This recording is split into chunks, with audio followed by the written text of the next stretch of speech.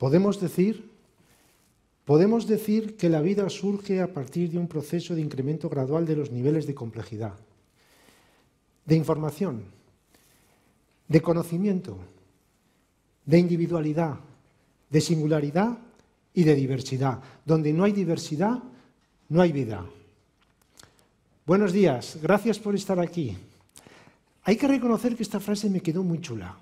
Al terminar el evento de Bilbao me vinieron unos amigos y me dijeron, esa frase te ha quedado niquelada. Pero dinos una cosa, ¿eso realmente significa algo? ¿Eso tiene algún sentido? ¿O es una de esas frases poéticas que tú sueles decir? Y yo les dije, no, eso tiene mucho fundamento. ¿Ah, sí? Pues en el próximo encuentro de futuro singular nos lo tienes que explicar. Y aquí estoy, continuando con este viaje fantástico que representa futuro singular. Y hoy vengo plenamente decidido a convenceros de tres ideas fundamentales.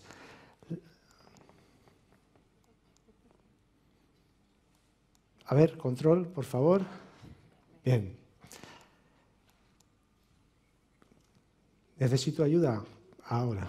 Bueno, eh, la primera es que no podemos comprender el fenómeno de la evolución si no es desde las ciencias de la complejidad, porque evolucionar significa pasar de lo más simple a lo más complejo. La segunda es que estamos, los organismos vivos y particularmente los seres humanos, estamos constituidos por dos realidades fundamentales, energía e información. Y yo aún diría más, por probabilidad. Crear vida es crear probabilidad. Y la tercera es que hasta ahora la ciencia médica ha estado centrada en esa primera dimensión del ser humano, en lo que es su composición material, su biología, su química. Sin embargo, hoy, gracias a los avances de las ciencias de la complejidad y nuestra capacidad de procesamiento de información, vamos a poder penetrar en, esa otra dimensión del ser humano, en los patrones que informan la materia.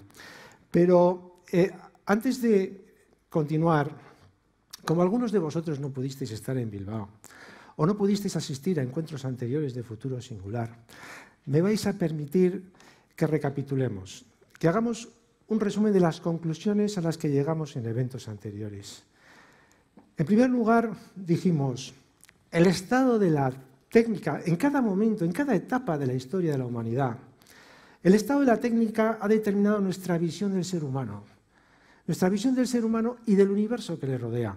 Es evidente que estamos viviendo una revolución tecnológica sin precedentes.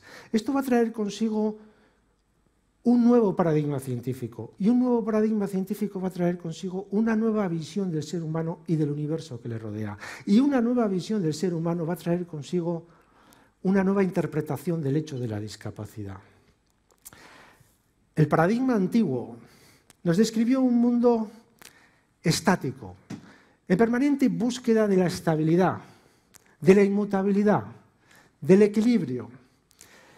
Un mundo dominado por procesos reversibles. El paradigma nuevo, el paradigma que surge a partir de la ciencia del siglo XX, nos describe un mundo dinámico, en permanente cambio y transformación. Es un mundo que ya no está dominado por procesos reversibles, sino que la gran mayoría de los procesos en la naturaleza son irreversibles.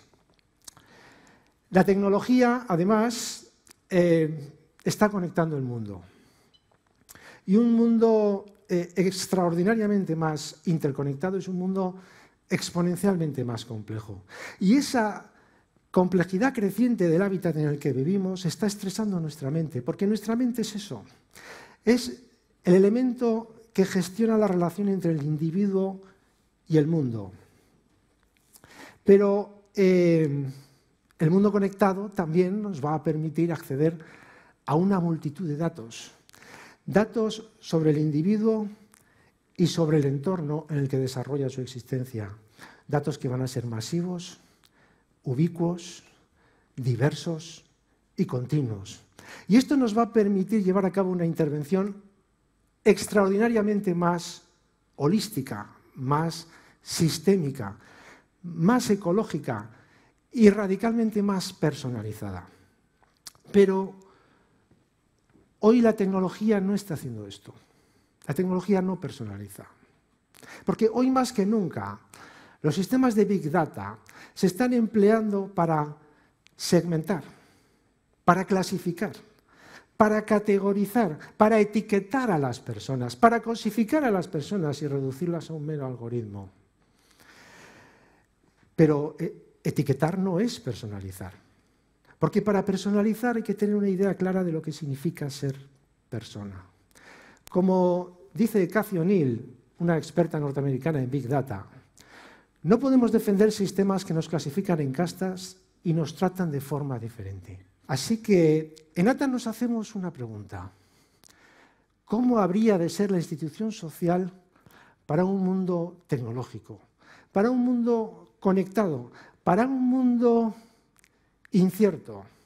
¿Cómo habría de ser, cómo deberíamos desarrollar eh, la tecnología que sustente la acción de una institución social en un mundo complejo? ¿Cómo podemos desarrollar el sistema de provisión de soluciones y servicios que sustente la acción de una institución social que opera en un mundo incierto, en un mundo dinámico? Y la primera dificultad que tenemos para contestar a esta pregunta, la primera dificultad que tenemos para comprender lo que significa un mundo complejo, radica en nuestras propias limitaciones psicofísicas, porque el ser humano no está biológicamente diseñado para aprender, para capturar la realidad tal como se nos presenta. Necesitamos fragmentarla, necesitamos descomponerla en sus partes para poder interactuar con ella. Como diría el neurólogo español afincado en los Estados Unidos, Joaquín Fuster, el proceso de percepción es un proceso de categorización. Pero hoy sabemos que los sistemas complejos producen propiedades que son distintas de las propiedades de sus partes constituyentes. Por eso tenemos tantas dificultades para imaginar, para comprender cómo son los patrones que rigen el funcionamiento de los organismos vivos. Necesitamos avanzar hacia una nueva comprensión de lo que significa el organismo humano entendido como un todo. Y para eso necesitamos comprender, necesitamos aprender cómo es esa relación entre la mente y el organismo físico. Y necesitamos avanzar también hacia una comprensión de lo que significa la relación entre el individuo y el ambiente. Necesitamos, en suma, avanzar hacia una nueva forma de hacer ciencia, que nos aproxime hacia una forma de interpretar la realidad completamente diferente. Esto no es una crítica a la ciencia tradicional. ¿vale? Este verano, sin ir más lejos, me leí este libro. Me lo recomendó Guruch Linazasoro, el neurólogo que estuvo con nosotros en Bilbao. Es un libro extraordinario. Su autor, Eric Kandel, Premio Nobel de Medicina y de Fisiología, cuenta a lo largo del libro, nos va contando toda su trayectoria vital. Y siguiendo la cronología de su vida, nos va contando todos los avances científicos en relación al conocimiento del cerebro en los que él participó durante todo el libro, Eric Kandel hace una defensa encendida de la doctrina de la neurona de Ramón y Cajal. Porque Eric Kandel defiende que para conocer bien el cerebro lo que tenemos que hacer es partir del conocimiento de la célula individual. Es un libro tan didáctico que estuve a punto de reconciliarme con la ciencia más reduccionista. Sin embargo, después de casi 500 páginas de una defensa ultranza del reduccionismo más radical, Eric Kandel dice lo siguiente. Deben producirse cambios conceptuales fundamentales en nuestra manera de estudiar el cerebro. Uno de ellos consistirá en pasar del estudio de procesos elementales, proteínas, genes y células individuales, al estudio de las propiedades sistémicas, mecanismos que involucran muchas proteínas, sistemas complejos de células nerviosas, el funcionamiento del organismo en su totalidad y la interacción de grupos de organismos. Necesitamos producir un cambio de mentalidad. Necesitamos dejar de poner el énfasis en elementos, en componentes cada vez más reducidos, para poner el énfasis en los procesos, en las relaciones, en las redes, en los sistemas, en los patrones que rigen el funcionamiento de los organismos vivos. Nuestra tesis es que para lograr nuestro objetivo, las disciplinas que nos van a ayudar a alcanzar nuestro objetivo son las que tienen que ver con la termodinámica de la vida y los modelos matemáticos asociados a la complejidad, a la probabilidad y a la no linealidad.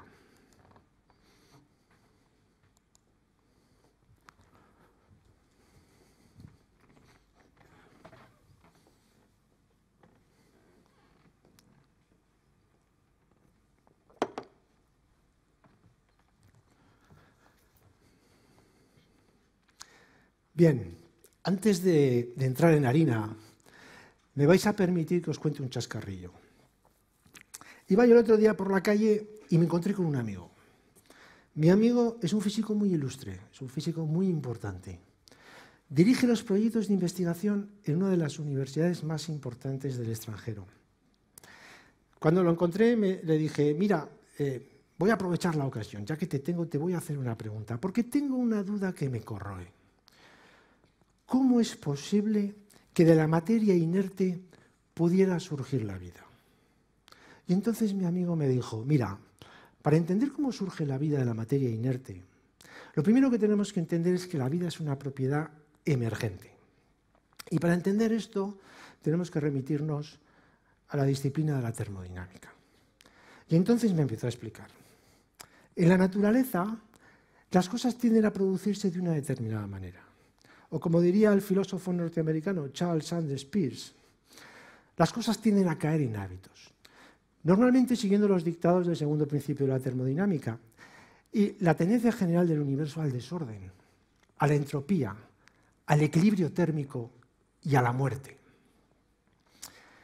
Cuando un proceso termodinámico se produce espontáneamente siguiendo la tendencia general del universo, decimos que es un proceso ortógrado. Cuando un proceso termodinámico se produce en contra de la tendencia espontánea del universo, decimos que es, un proceso contrágrado. En realidad los procesos contrágrados no existen. Lo que ocurre es que cuando dos procesos termodinámicos se confrontan, decimos que son contrágrados el uno con respecto al otro. Pues bien, cuando dos procesos termodinámicos contragrados se oponen y se restringen mutuamente, surge, emerge una realidad nueva. Surge un proceso morfodinámico, surge una forma, una estructura, un orden. El ejemplo más claro de, cómo la termodinámica crea orden en la naturaleza, el ejemplo más tradicional es el de las células de Bernard. Pues bien, cuando dos procesos morfodinámicos se oponen y se restringen mutuamente de forma sinérgica, surge, emerge una realidad nueva. Surge un proceso teleodinámico, surge una función, una funcionalidad. Yo, al llegar a este punto, le dije a mi amigo, mira, yo, todo esto está muy bien, pero para mí esto es muy abstracto, por no decir obtuso. ¿no? Y yo lo que necesito saber es, eso que surge, esa cosa que surge nueva, ¿cuál es el sustrato que soporta esa nueva realidad? Eh, o dicho de otra manera, ¿cuál es la materia de la que están hechos los sueños? Y entonces mi, mi amigo me dijo, lo que surge es un orden macroscópico a partir de la interacción dinámica de las partículas microscópicas. Lo que surge es un patrón organizativo, lo que surge es información. Y entonces yo me vine arriba, me vine arriba y le dije, bueno, pero para que surja información tiene que haber un sustrato, tiene que haber una molécula de ADN, o tiene que haber papel y tinta, o tiene que haber impulsos eléctricos, algo tiene que haber. Y entonces mi amigo me dijo, en este caso no. En este caso lo que importa no es lo que está, sino lo que no está son las probabilidades no cumplidas y las restricciones que imponen las que determinan la configuración del sistema y el funcionamiento del mismo. Es lo ausente lo que actúa como una ligadura física del sistema. Yo me quedé así, más o menos como algunos de vosotros, ¿no? Dije, bueno, no, sabía qué decir. Y entonces hice como hacen los ingleses, que para esto son muy listos, ¿no? Y le dije, Could you be more specific, please? Le dije, ¿te importaría explicármelo? Y entonces me empezó a explicar, mira, Para comprender esto te tienes que remitir a la explicación que nos da Schrödinger sobre lo que significa la entropía. Schrödinger fue uno de los físicos más importantes de la primera mitad del siglo XX y eh, hacia 1944 publicó este libro, que es un librito delicioso de apenas 80 páginas, en el cual nos explica qué es esto de la entropía. Y lo explica de la siguiente manera. Si nosotros tenemos un sistema cerrado, compuesto por un número determinado de moléculas, esas moléculas empezarán a producir fricciones, interacciones químicas y eléctricas entre ellas. Al principio del proceso, las posibles reacciones químicas serán muchas, serán muy grandes. En cada nueva reacción química, interacción que se produzca entre las moléculas, se disipará una parte de la energía en forma de calor, una parte de la energía capaz de producir trabajo. Y cada vez que se produzca una de estas reacciones químicas, se producirá un incremento del desorden molecular. Al final del proceso, se habrán producido todas las posibles reacciones químicas, se habrá disipado toda la energía capaz de producir trabajo y el desorden que habrá alcanzado el sistema será máximo. Y esto significa que cuando hablamos de energía, mínima probabilidad es igual a máxima entropía. Sin embargo, cuando hablamos de información, la entropía significa otra cosa. Imaginemos que tenemos un tablero, una especie de sudoku con números ocultos. Al principio tengo cero información y tengo un desorden absoluto. El momento que yo desvelo un número, empiezo a tener orden, empiezo a tener información. Y, sin embargo, el número de posibles combinaciones se empieza a reducir. En la medida que voy desvelando los números del tablero, tengo más orden, tengo más información y las posibilidades se van reduciendo.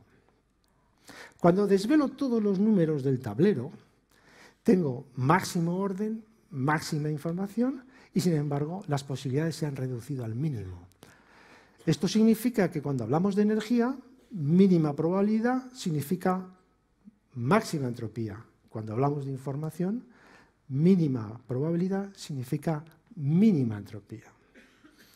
Y entonces mi amigo me dijo, y esto significa que la información es el opuesto de la energía. Y esto tiene unas implicaciones enormes, porque la información no es solamente un elemento descriptivo de la realidad, sino que es un elemento constituyente de la realidad.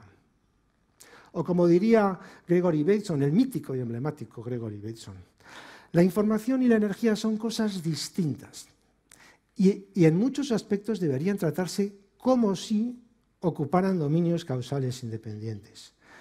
No obstante, de hecho son como la trama y la urdimbre de un único tejido causal.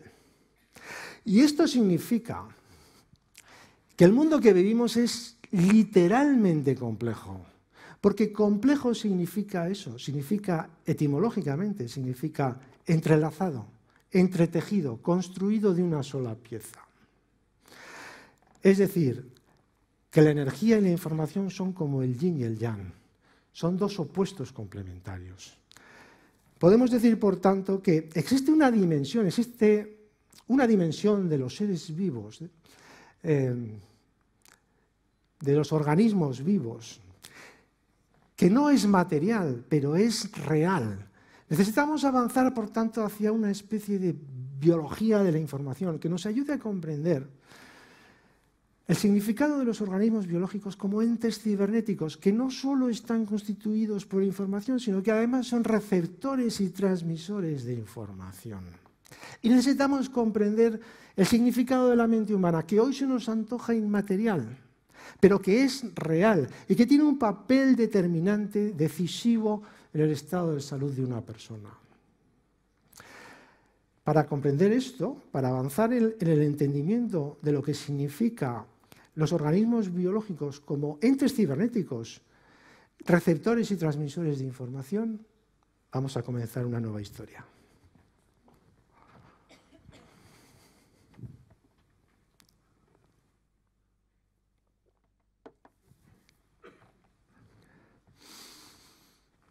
Esto que vemos aquí es una célula procariota. Es el organismo más básico, más primitivo, más antiguo de todo el planeta. tiene una antigüedad de más de 3.500 millones de años. Este organismo tan primario, tan básico, cumple con las mismas funciones fisiológicas principales que los organismos más complejos, que, los seres humanos, porque respira, intercambia energía con el exterior, se nutre, secreta residuos, incluso tiene cierta capacidad de movimiento, se desplaza hacia los entornos más ricos en nutrientes y huye de aquellos otros entornos más tóxicos para su supervivencia.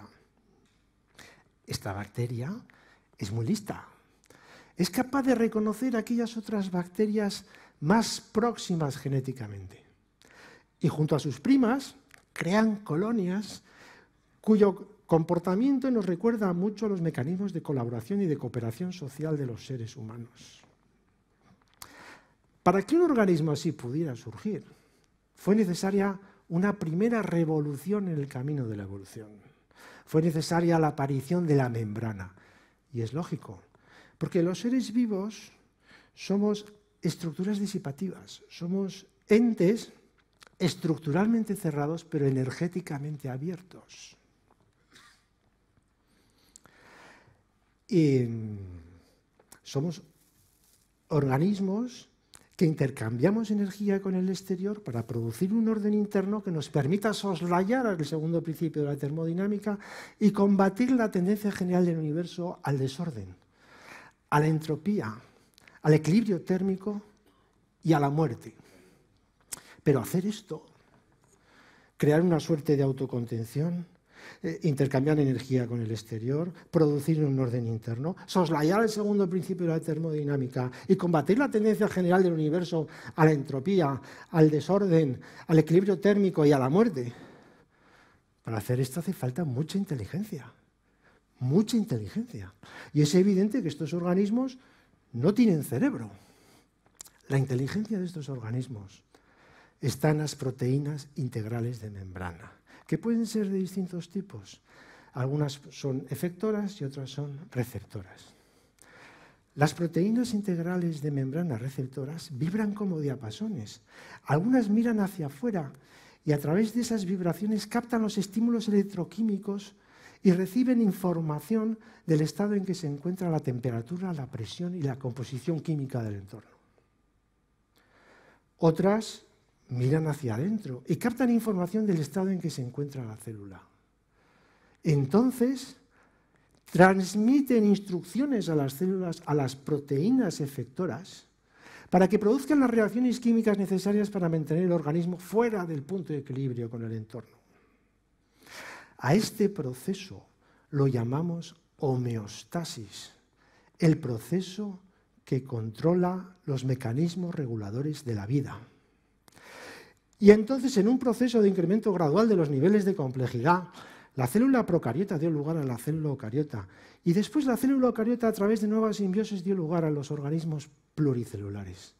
Y entonces tuvimos un problema. Y es que las células que se encontraban en el interior no tenían acceso a la información del exterior.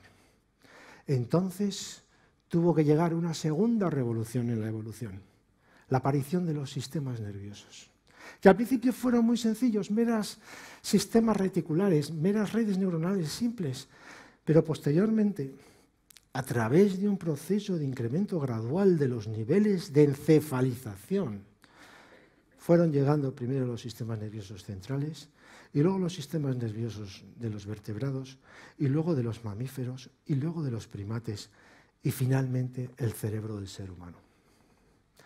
Como dice Joaquín Fuster, la mente humana es el sistema complejo adaptativo más sofisticado de todo el universo conocido. La mente humana es el sistema más sofisticado desarrollado por la evolución para la gestión de la homeostasis, el proceso que controla los mecanismos reguladores de la vida. Y así es como Antonio Damasio, uno de los neurocientíficos con mayor prestigio de toda la comunidad internacional, nos habla de la homeostasis extendida.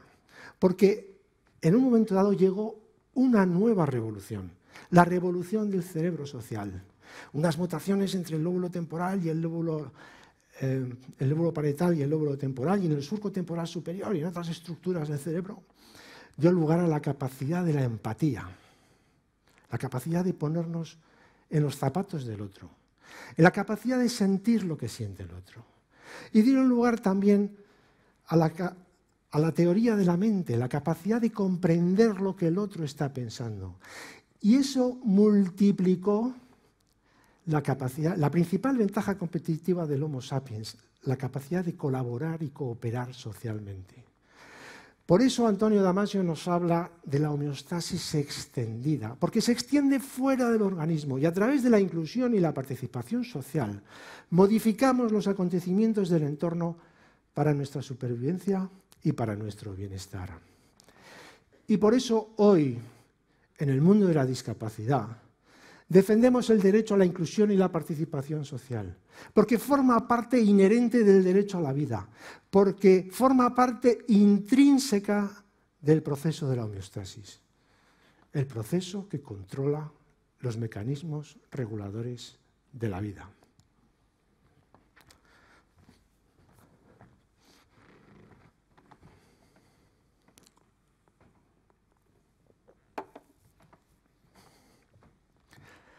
Hasta aquí, hasta ahora hemos visto tres cosas. Somos estructuras disipativas que intercambiamos energía con el exterior. Somos entes cibernéticos, que estamos en un proceso continuo de retroalimentación de información con el exterior. Y somos organismos sociales, que necesitamos colaborar y cooperar socialmente para nuestra supervivencia.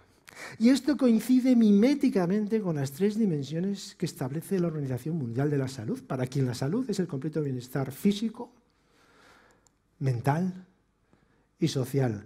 Y hasta ahora esto nos parecía en tres dominios independientes, pero ahora hemos encontrado un marco conceptual que nos permite unificar estas tres dimensiones a través del proceso de la homeostasis. Pero ¿qué está ocurriendo hoy? Hoy lo que está ocurriendo es que la tecnología está conectando el mundo. Y un mundo extraordinariamente más interconectado, decíamos antes, es un mundo exponencialmente más complejo. Y esa complejidad creciente del hábitat en el que vivimos está alterando la forma en que nuestro cerebro se comunica con el mundo. Estamos alterando la forma en que producimos la sinapsis y la forma en que producimos nuestras conexiones neuronales. Puede ser un poco controvertido afirmar que estamos modificando nuestra anatomía cerebral, pero lo que ya nadie duda es que estamos modificando la performance del cerebro, la forma en que el cerebro se comunica con el exterior. Y esto puede estar detrás de la emergencia de una serie de problemas que venimos viviendo de forma cada vez más creciente relacionados con el estado mental, problemas de sueño, problemas de ansiedad, problemas de memoria, problemas de concentración, problemas de hiperactividad, trastornos de conducta, trastornos del comportamiento, trastornos de la alimentación y tantos y tantos otros. Incluso podría estar detrás también de la emergencia de una serie de patologías neurodegenerativas, como el Parkinson, el Alzheimer, la esclerosis múltiple, enfermedades eh, eh, neuromusculares, el mal de Huntington, e. ¿no? En el siglo XX, los principales problemas médicos que tuvimos que afrontar fueron problemas relacionados con enfermedades transmisibles. Eran enfermedades eh, cuya etiología traía a causa factores patógenos. En el siglo XXI, el gran reto al que nos tenemos que enfrentar es la emergencia de enfermedades cuya etiología no trae causa en factores patógenos, sino en factores ambientales. Según algunos estudios, el sistema sanitario formal, tal, como lo entendemos, impacta sobre el 10% de los determinantes de la salud de una persona. Otro 20 27% de los factores determinantes de la salud de una persona tienen que ver con su genómica, con su herencia, y un 63% restante de los factores determinantes de la salud de una persona tienen que ver con su estilo de vida, con su conducta, con su comportamiento, con sus factores psicosociales y, con sus factores ambientales, incluso con la cultura. Es decir, tienen que ver con la forma en la que la persona se relaciona con el mundo. Así que la pregunta que nos hacemos es, ¿Cómo podemos crear una institución social capaz de impactar en ese 63% de factores que determinan la salud de una persona? Y la respuesta estará eh, en la tecnología, porque estamos creando una piel que cubre el mundo y que está monitorizando y está sensorizando a la persona y el entorno en el que vive. O, como diría proféticamente, de forma muy clarividente, Telar de Chardin hace más de 70 años, la radio, la televisión y las computadoras crearán una noosfera, una membrana electrónica que cubrirá la Tierra y conectará a toda la humanidad en un único sistema nervioso. Y esto lo dijo mucho antes de inventarse Internet. Pero para mí la palabra clave, la expresión clave es esta, sistema nervioso. Porque si a la homeostasis biológica le siguió la homeostasis social, hoy la homeostasis tecnológica va a tomar el relevo. Así que, claro, entonces yo me hago otra nueva pregunta. ¿En qué tipo de institución podemos confiar para que gestione nuestra homeostasis? El proceso que controla los mecanismos reguladores de la vida. ¿Cómo podemos crear una institución, social acorde con el estado de la ciencia y la tecnología que vivimos? ¿Cómo podemos crear una institución, social para un mundo tecnológico, para un mundo conectado, para un mundo complejo, para un mundo incierto, para un mundo dinámico? Sobre todo esto es sobre lo que vamos a hablar con algunos de los mejores expertos a nivel mundial. Espero que os guste. Gracias.